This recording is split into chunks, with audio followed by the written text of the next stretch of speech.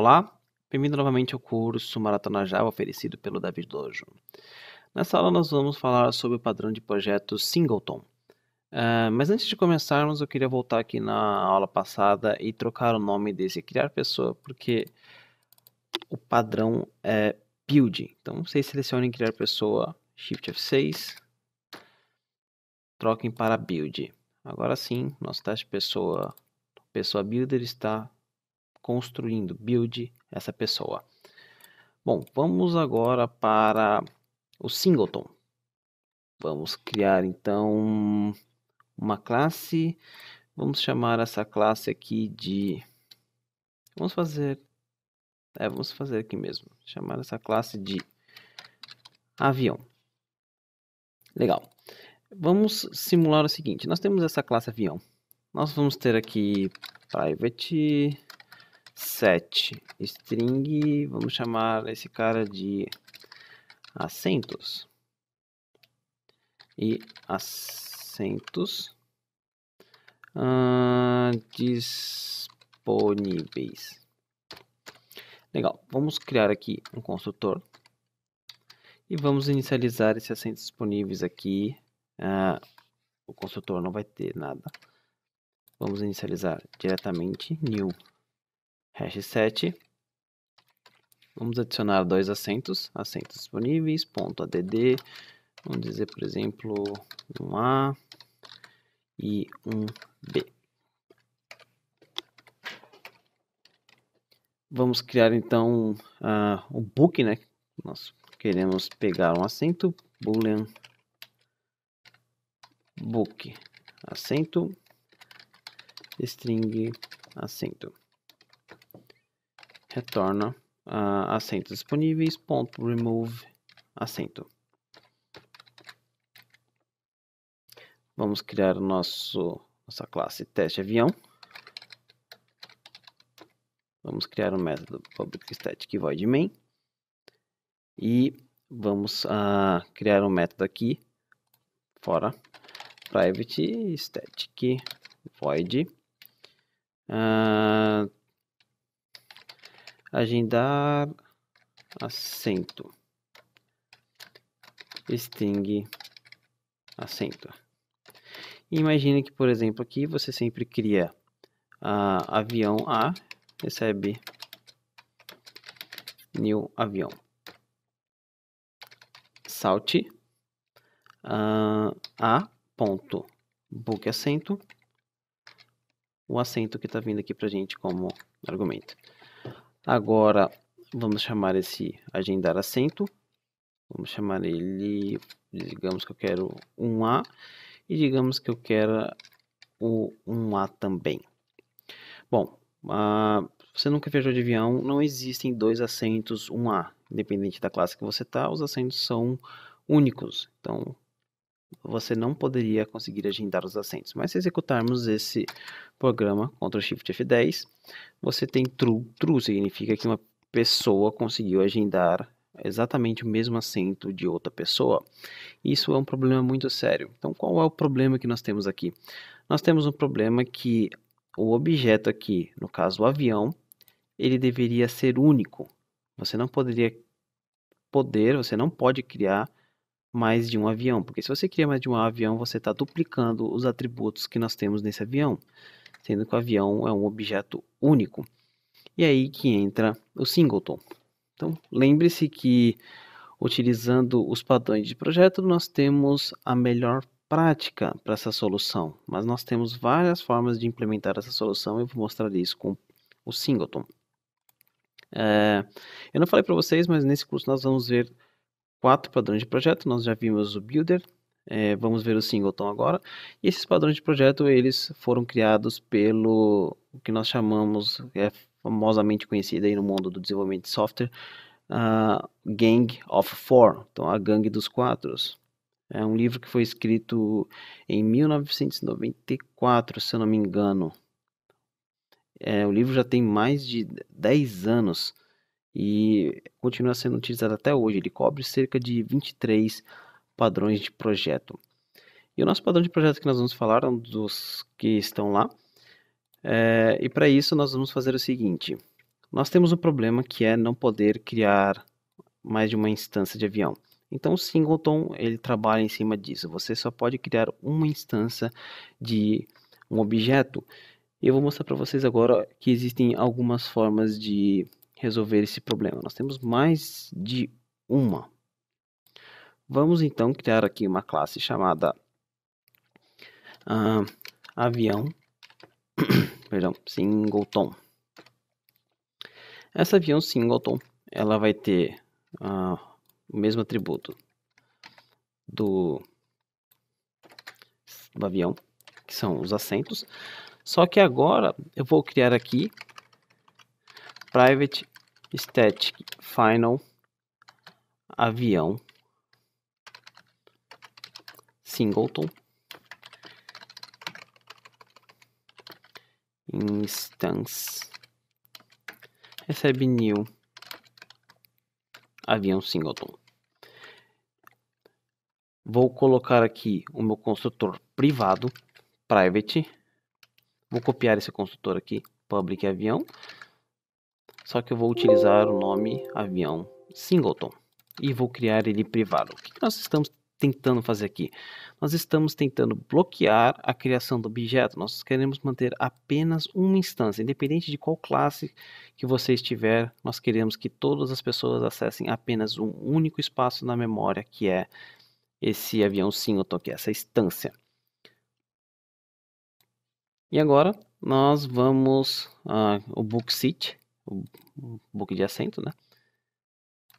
Ctrl C, Ctrl V. Você pode ver que é praticamente exatamente as mesmas coisas. E agora nós precisamos ah, dar acesso a essa instância. Nós podemos criar um método get aqui, getter, for instance. E todo mundo que pegar essa instância vai sempre estar tá pegando a mesma instância. Bom, vamos criar agora o teste. Hum, nós fugimos do padrão aqui. Vamos depois renomear. Na verdade, eu queria até no lugar errado. Vamos lá. Avião singleton teste. Primeiramente, vamos mover esse teste avião para cá, para teste. E vamos uh, Shift F6, avião, teste, refactor. E aqui, nesse teste pessoa, vamos... Ah, já passou a aula, agora deixa.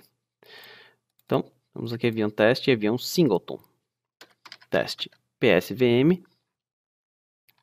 E vamos fazer o seguinte. Uh, agora nós vamos copiar aqui esse método private static void agendar assento. E vamos utilizar esse agendar assento, agendar assento. Legal, só que aqui eu não vou mais criar um avião. Primeiro que nós não estamos trabalhando com avião, estamos trabalhando com avião singleton. Se nós tentarmos fazer isso, avião singleton, vamos importar aqui. Nós não vamos poder porque o construtor ele é privado. O que nós temos que fazer é chamar avião singleton. Ponto. Avião singleton ponto get instance. E agora esse cara vai retornar true e falso porque nós, nós temos apenas uma instância desse avião Porém, isso que nós fizemos aqui, uh, voltando aqui no avião singleton, de inicializar diretamente no atributo, é chamado de eager. Inicialização. Initialization. Então, inicialização eager, ou seja, por mais que você não vá usar essa classe avião singleton, esse objeto será instanciado, porque ele é estático. Agora, Existe uma outra forma que é chamado de lazy, ou seja, a forma preguiçosa. Essa aqui é a forma gulosa, existe a forma preguiçosa que só é você só vai criar a instância quando você realmente for utilizar aquela instância. E para fazer isso, nós podemos fazer o seguinte. Hum, nós podemos, uh, caso você queira, você pode comentar aqui, Ctrl D, comenta 1, para você não esquecer depois é o seguinte, nós vamos criar um método aqui.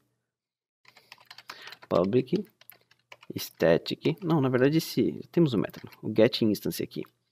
esse método getInstance, ao invés de retornar a instância, ele vai fazer uma verificação. Se a instância for igual igual a nula, eu quero que você crie uma instância para mim. Instance nula minúsculo instance recebe uh, new avião singleton. Legal. Uh, nós temos um erro aqui porque nós não podemos associar o valor a uma variável final. Bom, para resolver esse problema aqui, pronto. Senão nós teríamos que chamar esse cara dentro do construtor. Uh, legal. Então nós temos agora uh, utilizando o lazy, ou seja, significa que nós não precisamos mais carregar esse objeto na memória, a não ser que nós realmente precisemos ou precisamos utilizar esse get instance. Bom, uh, o que nós podemos fazer agora para testar? Executar novamente e continua funcionando perfeitamente. Só que nós temos um problema aqui. Dessa forma que nós estamos utilizando, ele não é um ambiente thread safe. Porque se nós estivermos utilizando duas threads, ou 5, 10, quantas threads forem necessárias, esse código pode ter um pequeno problema. Qual é o problema que nós podemos ter? Imagine que dois clientes estão tentando acessar exatamente no mesmo tempo, no mesmo segundo, no mesmo minuto, uh, esse avião singleton get instance. Quando as duas threads chegarem aqui, se você já está nessa aula, você já sabe sobre threads, existe a possibilidade das duas threads checarem instância igual a, igual a nulo e as duas threads criarem uma nova instância. E você sabe que isso é um problema porque nós vamos cair com dois usuários utilizando o mesmo assento. Bom, e como é que a gente pode resolver esse problema? Bom, existem uma forma rápida e mais uh, dolorosa para o sistema, que é você colocar synchronize diretamente aqui na palavra, aqui na assinatura do método. O problema é que lembre-se quando você deixa o método sincronizado, você está afetando o desempenho daquele método. Porque ele vai obter o lock as outras threads terão que esperar é, enquanto aquele lock não for liberado. A outra forma que nós temos é uma que é a mais utilizada. É depois que você entrar no método e verificar que essa instância é nula, você pega o lock dessa classe, avião singleton.class, você faz um double check, você checa de novo se aquela instância é nula. Se realmente for, você cria. Por incrível que pareça, você tem mais código, mas esse fazendo dessa forma aqui você tem um melhor desempenho, porque ele só vai sincronizar se a instância for nula. Então, essa é a forma que vocês provavelmente vão ver aí na utilização de singletons. Então, isso aqui é chamado de lazy initialization, a forma preguiçosa, que só cria o objeto quando você realmente vai utilizar ele. Só que nós ainda temos um outro problema. No Java, por mais que você crie um construtor privado, que nem nós fizemos aqui, ah, pam, pam, pam, cadê, cadê? no construtor privado, ainda existe uma forma de você trocar e é, efetuar o acesso desse construtor, você criar um objeto por mais que esse construtor seja privado. E o nome disso é Reflection. Então, é, no nosso curso nós não temos nada sobre Reflection, mas eu vou mostrar para vocês aqui, por exemplo, como é que a gente pode fazer para criar um objeto de um construtor privado. Imagine que nós temos aqui no nosso método main, vamos pegar aqui a airplane, avião, singleton. Uh, nós temos aqui avião singleton, recebe avião singleton.getInstance. Legal. Se eu criar dois objetos, duas variáveis de referência e imprimir o hash code delas, nós vamos ter o mesmo hashcode. Ops. Ponto hashcode. Apesar deles estar em endereço, pode ver que eles estão no mesmo endereço de memória aqui. E o hashcode é o mesmo. Agora, eu vou mostrar para você que existe, existe a possibilidade de você criar um objeto mesmo com o construtor privado. Bom, uh, primeiro vamos criar aqui esse constructor do pacote java.lang.reflect. Ele vai se chamar constructors e a gente vai chamar airplane, avião, eu estou com airplane na cabeça, ponto uh, class, ponto get. Declared constructors. Então ele retorna aqui um array para a gente. For uh, constructor, constructor, dois pontos, constructors. Vou fazer o seguinte, vou mudar a acessibilidade desse construtor, ponto set accessible, vou colocar para true, e vou pegar esse avião singleton 2, recebe, uh, fazer um cast aqui para avião singleton, constructor.new instance. E esse cara lança uma exceção e vamos colocar aqui essas exceções no método main. Uh, vamos criar um, vamos fazer um break aqui. Agora vamos ver o resultado do hashcode para as duas. E voa lá, você tem dois objetos diferentes e você está infringindo a regra do singleton. O singleton diz que você só pode ter um objeto. Bom, aí naquele livrinho maravilhoso que eu falei para vocês, o Java Effective, o Joshua, ele falou, deu uma segunda opção que é utilizar enum. Então enum foi introduzido no Java 5 e é a melhor forma que nós temos em Java para criar um singleton.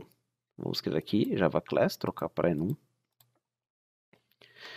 Uh, avião singleton. Na verdade está no lugar errado, é no classes. avião singleton enum. Nós vamos criar aqui um instance. Nós vamos agora voltar aqui no nosso avião singleton. Vamos copiar esse ah, assentos disponíveis. Vamos pegar esse construtor aqui, privado. É, colocar privado no construtor de um enum é redundante, porque todos os construtores de enum são privados. Vamos copiar os métodos poke acento. E vamos pegar o método também que nós temos no avião singleton test, que é o agendar assento. E vamos colocar ele para público. E aqui, avião singleton enum recebe avião singleton enum ponto instance. Então você pode ver que nós não estamos utilizando lock, nós não estamos utilizando synchronize de nenhum método get instance. E vamos uh, chamar agora lá no nosso, vamos criar um outro método, main, uma outra classe, avião singleton enum teste. Ps vm e nós vamos chamar avião singleton enum ponto agendar assento 1A Ctrl D 1A Ctrl Shift F10 true. Falso. Olha que legal. Continua funcionando está mais limpo do que o código que nós fizemos aqui no avião singleton. Ele é thread safe e o melhor de tudo nós não podemos alterar utilizando reflection. Então vamos fazer o seguinte, vamos avião singleton test, vamos fazer, tentar pegar esse código aqui e fazer para enum. Só para mostrar para vocês, só vou trocar esse avião singleton.class aqui para enum, avião singleton uh, enum, para vocês verem que vão lançar uma exceção falando que você não pode criar refletivamente objetos enum. Então, esse é o padrão de projeto uh, singleton.